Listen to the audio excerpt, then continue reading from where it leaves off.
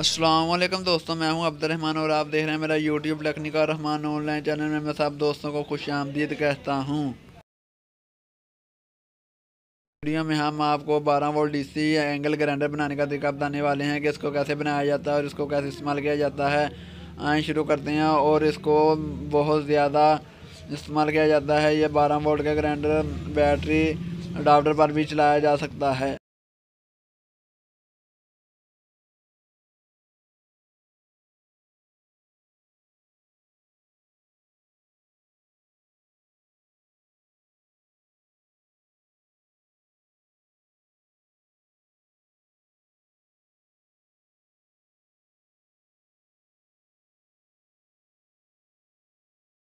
बनाने का तरीका बहुत ही आसान है। इसको आप अपने घर पर आसानी बना सकते हैं। इसको कंप्यूटर की लैपटॉप की सप्लाई पर भी चला सकते हैं।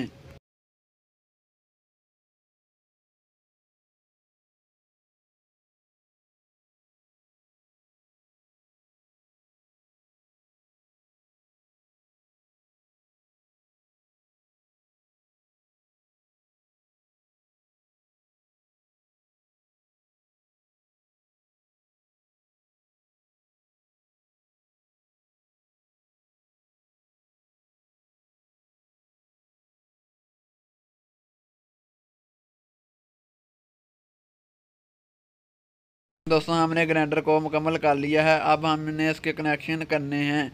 अब हमने हम 12 वोल्ट की सप्लाई के साथ इसके कनेक्शन करने जा रहे हैं। ये देखें, हमने इसके कनेक्शन करने लगे हैं। ये देखें, हमारा ग्राइंडर बिल्कुल अच्छे तरीके से वर्क कर रहा है।